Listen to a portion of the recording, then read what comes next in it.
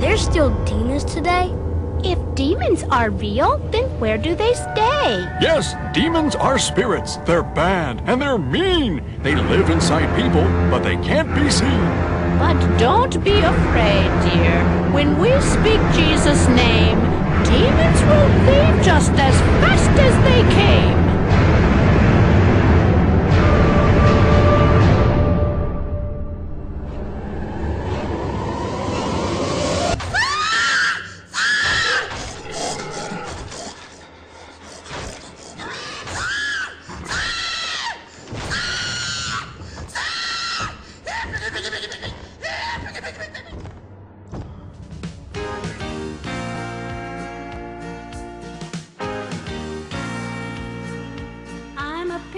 As you can see, I'm as country as can